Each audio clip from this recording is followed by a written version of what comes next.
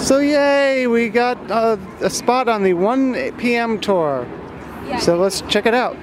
It is going to be about a 20 to 25 minute tour. I understand it is very hot and humid, so if you do need to leave at any point and just stand in the shade for a few minutes, I won't be offended.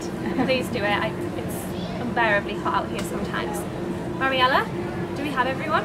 Uh, my name is Abby, so I'll be your tour guide today. Um, and I come from a very small town in the northeast of England. A town known as Hartlepool. Um, we do the best fish and chips in the north, so if you ever do visit the UK, come up north, not just London, we do the better fish and chips. Um, also joining me we have Mariella in the back there. Um, any questions? Um, but we're going to talk about all things tea, which is very exciting. This is definitely my favourite festival here in Epcot uh, because I get to give you lovely guys the tours and I get to talk about all things tea. So as we walk through the garden, we've got 12 different blends of Twinings tea that we're going to look at. Uh, we're going to look at the ingredients that go into these blends, but we're also going to look at um, the different tea types or tea segments. What I mean by that is just a, a black, a green, um, a herbal tea. We're going to discuss why these are different um, and the different tastes that these teas have. So hopefully that sounds good for all of you guys. And before we go ahead and get started, I'm going to tell you a little bit about the history of Twinings, just so I can set the scene and give you a little bit of um, a background story. Um, Twinings has been around for a very long time. It's been around for over 300 years. So it was founded way back in 1706 by a young man called Thomas Twining. And he was actually the very first of the Twining family to move away from their traditional profession of milling and weaving. So he was the very first one to branch off and um, go into the tea industry. Now he opened up Tom's Coffee House on the Strand in London back in 1706. It was a coffee house back then. Um, people would drink coffee, gin and ale, even for breakfast because the water was so contaminated. So 8 o'clock in the morning, they'd be having their pints, they'd be having their gin, they'd be having their coffee. Um, Thomas actually took full advantage of this because he began to serve tea at his coffee house. Now the reason why he was able to do this is because he worked for the East India Trading Company.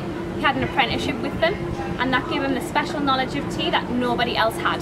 So he's believed to be one of the very first in the world to begin serving both coffee and tea at his coffee house, which is quite special.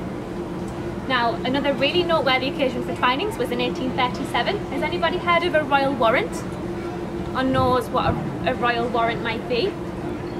No, don't worry. It's um, it's basically a seal of approval from the royal family. And in 1837, Twinings were granted their very first royal warrant. Um, basically, that means that Twinings are supplier of tea to the royal household. So if you look, hopefully you guys can all see, just behind me, you see that little press there on the side? That's what it looks like. And on the top of all Twinings boxes of tea, there is the royal warrant. So every five years, since 1837, they review the warrant just to make sure that the tea is still up to scratch and still good quality. And every five years, they have been granted the royal warrant. So next time you drink a cup of Twinings tea, hope you feel very fancy because you are drinking the same tea as the Queen, which is quite nice to know. Um, the shop on the Strand is still open to this day. Over 300 years old, it is still open. So if you ever visit London, if you ever plan to come to the UK, definitely go and check it out. It's uh, very long and very narrow, uh, but they have a loose leaf tea bar there and you can sample any of the tea blends. They have chocolate tea, popcorn tea, gingerbread tea, you name it, they have it at the Twining store in London and you can try any of those at the tea bar, which is pretty cool. So hopefully that sounds good to everyone. You're all experts now in the history of Twinings. Um, we'll get on to the actual tea, the most important part. This teacup behind me, we have a very important plant. Now, the reason that it's important is because all true types of tea come from this one plant.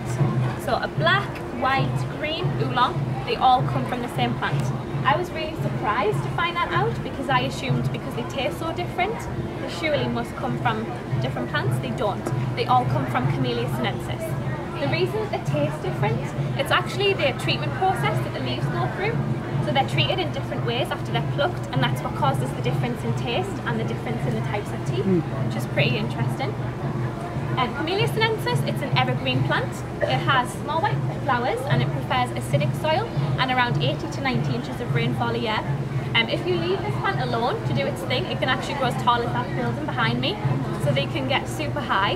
Um, some tea plantations will actually allow this just to give the other plants a little bit of shade, but typically they maintain them around this height, so around waist height. That's because the workers will pick the top two leaves and the unopened bud. So when they pick the tea leaves for your cup of tea, they always go for the top two leaves and unopened bud. This is for the highest quality tea.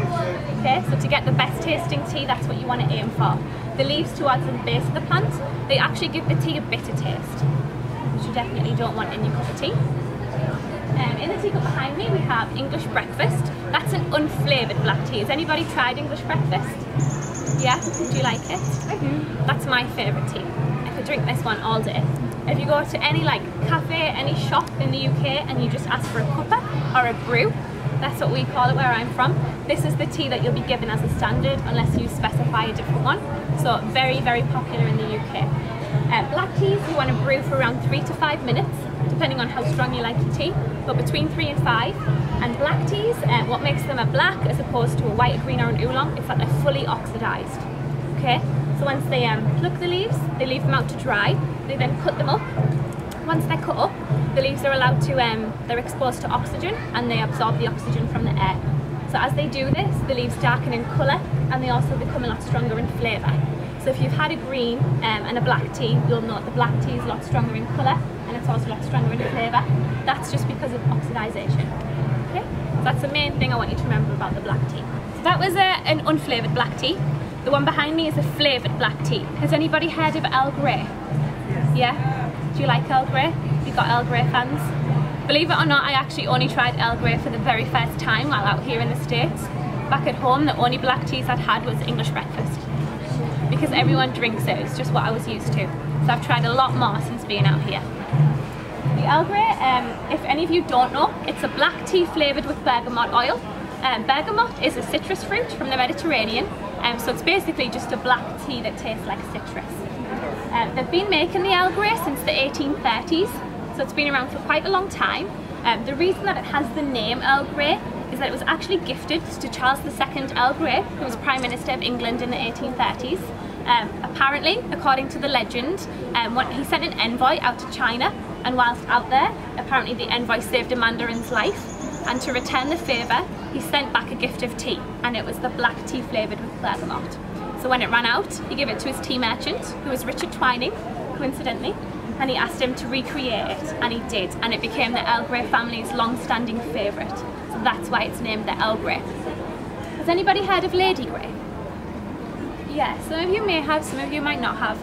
It's um, it's still got the bergamot, but it also has orange and lemon.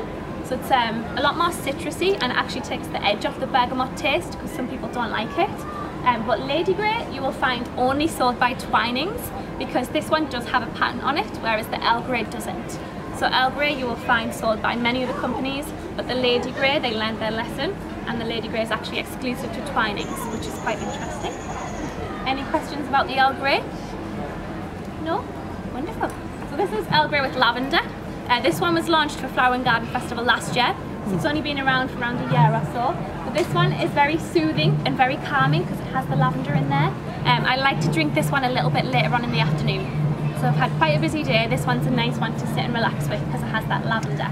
So nice and soothing. Fantastic. We're going to keep moving on. Okay, so this is the first of the herbal teas. And um, this is not actually a true tea. So when I say true tea, um, a true tea is anything that comes from that uh, first plant we spoke about, the Camellia sinensis. Any teas that don't come from that plant, they're not technically a true tea. Herbal teas are actually an infusion of different herbs, spices, flowers and fruits, which is why some people will call them a tisane or a tisane. That's the correct um, term to use to describe these. We call them a tea just for ease and convenience, but they're technically not tea because they don't come from the tea plant. So the one we have here, it's called the Buttermint. Um, this is an amazing tea. Uh, this is a peppermint based tea, but it's also blended with vanilla. So it's a very unique one because it's refreshing and minty from the peppermint, but it's also creamy and almost sweet from the vanilla. So sorry to like build you guys up just to knock you down, but this tea is actually sold out in the tea caddy at the minute. We don't have any of this one left, which is a shame. yeah, but they do have it on the website, I've been told. So if you do want to try and check out the website because it's a very, very special tea indeed, yeah. It says on the sign here that it takes you back to like old sweet shops and that's definitely the case. Has anybody tried, um, apparently they're called buttermint over here, but back at home we call them humbugs or Murray Mints. Has anybody ever tried that? It's like a peppermint sweet with vanilla. but it tastes exactly like that. It smells and tastes exactly like that sweet, but very, very nice. Cast members love this one, guests love this one, everybody loves this one. So if you can get it hold of it somewhere, then try.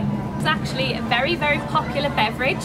And believe it or not, it is second only to water in terms of the most widely consumed beverage in the world. So the most widely consumed worldwide is water and then second is tea. So we have a lot of tea lovers out there. So here we have another herbal. This one is the chamomile honey and vanilla. Has anybody had chamomile tea? Just pure chamomile? This Yeah. morning? You like it, obviously? Yeah? So some people do. Some people love chamomile. Some people hate it because it can be quite strong. I find it almost grass-like. It tastes very like plant, planty. Um, but with the honey and the vanilla, it really helps to combat that and balance it out. So I love this tea. I'll drink the English breakfast during the day and then on the night time, when it's getting a little bit closer to bed, I'll drink the chamomile honey and vanilla. The reason that I like it for bedtime, not only because it has chamomile in, so it's quite soothing, herbal teas are actually naturally caffeine free. So they have no caffeine in them whatsoever. Whereas um, anything that comes from a tea plant does. So the Camellia sinensis, the plant itself, has the caffeine. Anything that's herbal will not have any caffeine in it at all. So if you're trying to avoid a lot of caffeine or you want something to drink in the evening, try a herbal blend. But this one's really nice, nice and sweet. So if you like sweet teas like me, definitely try this one. Um, so here we have the pure peppermint blend. This is an all natural tea because it has only peppermint leaves in it. That plant you see in the teacup behind me, that is all that's in the pure peppermint tea, nothing else. Um, Twinings actually get their peppermint leaves from over 100 countries, so that's what makes it so nice. They try to give you the best tasting uh, peppermint leaves they can to give you the best cup of tea. Um, the name of the peppermint plant is actually called Mentha piperita. So that plant in there, that's the name of it. It's a perennial plant, so it can survive through the seasons and it can grow as tall as 90 centimetres in the summertime. Um, this tea, you're going to smell it long before you get a chance to taste it. It has that really refreshing minty smell. You sometimes forget to actually drink the tea because it smells so good. It's definitely the case with this one. Um, if you ever go to a restaurant, when they bring the bill over, they'll often bring a peppermint sweet or they'll have them in a big bowl as you leave. That's because peppermint is really good in aiding indigestion and in bloating. So if you have a lot to eat, you've gone a bit too hard at the flower and garden kiosks, try a cup of peppermint tea or a sweet with peppermint in because it can actually really help. Yeah? And I had a guest actually who told me that she grows peppermint plants in her garden because they're quite easy to maintain. So if you wanted to start a new hobby, try growing a peppermint plant in your garden, you can make your own peppermint tea. So she picks the leaves Nice. and then just leaves them to dry in the sun and then she'll just cut them up and steep them in hot water. She'll just use a little tea ball and steep them in hot water and then you've got your own peppermint tea. On one side of me we have the lemon and ginger. So this combines lemon, lemongrass and Chinese ginger to create a very invigorating and again quite refreshing tea. This is another good one to drink in the morning time if you want something to give you a boost and you want something to wake you up but you don't want a coffee. Try the lemon and ginger. Um, has anyone ever heard of One Direction? Or knows who One Uh. Direction is? If you don't, I don't know where you've been in the past five years. But um, they were a UK boy band. I say were, they're not anymore, but we'll not get into that. Sad times. But um, one of the members of One Direction, he actually drinks this tea before he goes out on stage. So before he does a big interview, um, any performance, any songs or anything, he drinks this tea because he feels like it helps to warm up his vocal cords get everything going. So if you do any big speeches as part of your career or you just like to talk a lot, like me, um, try the lemon and ginger because it's supposed to be quite good for that. If any of you are wondering, it was Niall Horan who drinks it, just in case. Um, we have the berry fusion. So does anyone like fruity teas? Anyone a fan of fruity teas? Yeah, me too. Love fruity teas. Uh, this will be the tea for you then. It has anything you can think of that is fruity. This tea seems to have it in. It has strawberries, blueberries, blackberry leaves, cherries, apple pieces, oranges. Um, it has what else does it have? It has acai, it has hibiscus flower, which is a really pretty uh, red flower, and that gives this tea a red colour, and that makes it taste even better in my opinion. So it's really good. Um, speaking of iced teas, the same as the peppermint, this is a great one to have iced. Some people actually compare this to sangria, if any of you have tried sangria. Obviously without the alcohol, uh, but nice and fruity, the same sort of taste. Does anyone make their own iced tea at home? Yeah. Um, if you do, I have a little tip for you guys. Once you've brewed your mixture, your tea mixture, take an ice cube tray and make flavoured ice cubes with the mixture. That way when you come to serve it and you want to chill it, you won't dilute it the way you would with regular water cubes. Um, that's really good, really good tip. We make iced tea all the time in the caddy. We actually have some iced tea for you guys to enjoy at the end of the tour. Um, but unfortunately we don't have time to make flavoured ice cubes as much as we would love to. So what we do is we brew our tea double strength and then we add regular ice cubes and just let them melt. And that way it'll keep it nice and cool but it won't get rid of any of the nice strong flavour that we want. So that's the berry fusion. I've done that Um, before. When you, sorry? I said I've done that before. Yeah, yeah, really good tip. Uh, when you brew your teas as well, just one more thing to mention. Does anybody dunk the tea bag in and out of the cup or squeeze it against the side of the cup? I do, or I did, when I, especially when I was making a black tea, but it actually doesn't do anything for your cup of tea. All you do is squeeze out colour. So never judge your tea by its colour. Okay, always wait and leave it for the recommended brew time because colour comes a lot quicker than flavour. So when you're doing that, you're not speeding up the brewing process, you're just squeezing out the colour in the tea leaves.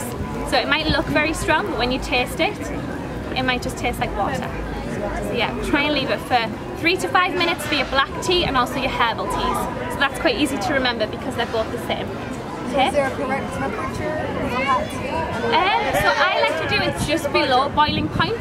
Um, this is especially important for your green tea because your green tea leaves are a lot more delicate. So if you pour boiling water onto green tea bags or tea leaves, you actually burn the leaves. So try, especially try not to do it with your green tea, but in general, I like to brew all of my teas just below boiling point. Um, there is like a correct temperature to brew for all of them.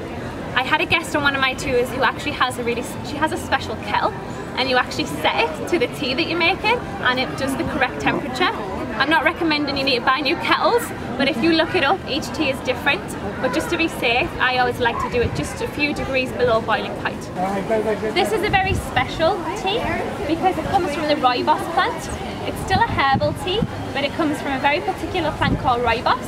You can find it only at um, the base of the Cederberg Mountains in South Africa. So that's the only place where you can find this plant, so quite rare. Um, what they do with this plant, once they pick the leaves, they leave them in the sun and they actually dry to a really deep red mahogany colour, which is why some people call rooibos tea red tea or red bush tea. It's because when you steep uh, the tea bags or the leaves, it turns the water like pretty like mahogany colour. Okay, so it's just the leaves of the plant. Um, rooibos is quite sweet tasting plant, so it's a lot sweeter than your Camellia sinensis would be. So this one, although traditionally you don't take herbals with milk, I recommend you add just a splash of milk to this particular rooibos tea um, because it brings out that natural sweetness. So with the rooibos we have orange and cinnamon. Um, these little plants in the back, these are cinnamon trees. So these are the babies and that big one right at the beginning there, that's the big mummy tree. So these little ones will grow to be as big as that very first one at the front, A really big tree up there. So this is quite similar to your lemon and ginger because it's zesty but it's also spicy. So if you like those sort of combinations, definitely try this one. So it's fresh but also spicy. Very nice. Does anybody like Beauty and the Beast? Yeah? Have you seen the new movie? Did you cry? I did. I cried just a little bit. Um, there is a point to this, I promise. Um, but this is actually one of the teas that has limited edition Beauty and the Beast packaging. So there's four different herbal blends and they have four different designs. They have like Miss Potts and Chip and Belle and Beast on them. There's orange and cinnamon, lemon and ginger, pure peppermint and chamomile honey and vanilla. Um, just in honour of the, the cinematic release, they brought out limited edition designs on the boxes. So if you like Beauty and the Beast, definitely go and check those out. They're pretty cool. Here we have a green tea, completely different uh, tea in terms of the tea segment. What makes it a green instead of a black? Like we said at the beginning, black tea is fully oxidized. Green tea is not oxidized at all. So a very sharp contrast between the two. What they do is they steam these tea leaves so that they can't react with oxygen in the air. It sort of kills enzymes in the leaf so that they can't do it, and that's how they stop it from oxidizing. Because it's not oxidized, you'll notice it's a lot more delicate in colour and more delicate in flavour, and that's the reason why you only want to brew it for two to three as opposed to three to five, and you don't want to pour the boiling water on it, because the leaves are more delicate. So um, this one is pomegranate, raspberry and strawberry. I personally don't like green tea on its own. I find it too earthy. Some people love it. I personally just don't like it. This one, the pomegranate, raspberry and strawberry, they really help to sort of mask that green tea earthy taste. So if you don't like green tea but you want to try and get into drinking it, I definitely recommend this one. This is a nice one to just stick in a cup of hot water and sip throughout the day. Really good. Any questions about this one? Is that why um, green tea is like slightly less caffeinated too because it's not as oxidant? Yeah, so it's like the treatment process that the leaves go through. But that is a very good point, something that I forgot to mention. Green tea still has caffeine in because it comes from the tea plant, but less than your black tea. So um, here we have another type of green tea. This is green tea with jasmine. Um, surprisingly, this tea does not contain actual jasmine flowers. Um, I was very surprised to find that out. Um, how they get the jasmine taste to this tea is they actually just leave it around jasmine flowers and it absorbs the aroma and captures it as a taste. So if you didn't know already, tea leaves will absorb anything aromatic that is in close proximity to them and they capture that as a taste. So because of this reason, a lot of people will use tea leaves as sort of deodorizers. Some people like to put them in their shoes. If you have any smelly shoes, try putting tea bags or tea leaves in them because they'll actually absorb that bad smell. Some people will also put them in the car as air fresheners as well. So for example, a black tea with mint is going to be great because not only do the tea leaves absorb the bad smell, if it has the mint in it, it also gives off a nice smell as well. So try that if you're looking for something exciting. So to make green tea with jasmine, imagine um, a layer of green tea leaves and sort of like a mesh wire to separate and then a layer of jasmine flowers. They'll leave this overnight or for several hours and the green tea leaves will just absorb the smell coming from the jasmine flowers and make it taste like jasmine, which is very interesting. And if you um, just be careful if you travel with your tea bags, try and keep them in separate Ziploc bags, or if they're individually wrapped, keep them separate. Um, then you won't have any worries. You won't have them intermingling. If you want to try a hybrid tea, you're feeling quite exciting, mix them together because they will sort of cross-contaminate. Yeah. At the cinnamon, they actually carve the inner bark of that tree into the rolls. That's where the cinnamon comes from. Yeah, very impressive. The last tea we're going to talk about is a chai tea. Has anybody ever tried chai tea? Do you like it? I don't like it. it's, um, I like the French vanilla one, if you've ever tried that. As you can tell, I like things sweet. Anything sweet and I'll drink it. Um, but the chai tea is a bit like Marmite back at home. You either love it or you hate it. If you haven't had chai tea, it's um, basically like a black tea with spice. So it's a black tea and it generally has um, cardamom, cinnamon, ginger and cloves in it. It's nice and spicy. It comes from India. Um, what they used to do is they'd brew big ceramic pots of tea leaves and they'd leave them in the street for hours and hours. Um, obviously if you overbrew your tea leaves, I did mention it briefly earlier, um, it actually burns them and it makes them taste bitter. So what they'd do to combat this, to mask the bitter taste, they'd add um, the spices. They'd add the cardamom, the cinnamon, the ginger and the cloves. Obviously these days when they make chai, they don't burn tea leaves and add spices. This is just where it came from. So it just grew in popularity from there. So this is pumpkin spice chai. So it's your chai tea with your spices and then it also has the pumpkin flavour. I was very surprised to see this one sitting on the shelf when I arrived in the States because we don't eat pumpkins at all in the UK.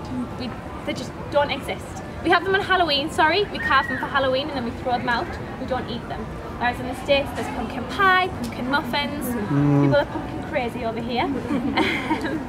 So I was surprised to see that and when they made this blend, the master blenders in the um, States actually had to send over recipes to master blenders in the UK for pumpkin flavoured desserts, just to give them the palate and the taste for the pumpkin flavour.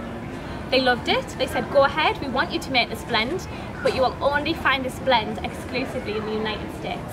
You won't find this sold anywhere else because people would not buy this in the UK. Is that the same with the apple spice chip? The apple spice, I believe that one you can get in other areas. I think the apple spice one is different because we do eat apples in the UK. So that one, a lot people are more, a lot more common with the flavour. We have like apple pies, apple strudel, things like that. So I believe the apple one you can get in the UK. You can take your tea however you want to. I do like to stress that on the tea tours because people ask me all the time, what is the right way to make a cup of tea? Like, do you put milk in this? Do you put sugar in this? Honestly, drink it just the way you want to. Traditionally, black teas you would take with milk herbal teas you wouldn't. That's just tradition, and green teas you wouldn't. But it's completely personal preference. So like the chamomile, honey and vanilla, I actually like that with a little bit of milk. And the rooibos, those are both herbals, but I drink both of those with a bit of milk in. But just as a general Not even a general rule, but just generally herbals, no, black teas, yes. Thanks for watching all the way through and please exit through the gift shop. Bye guys. Okay,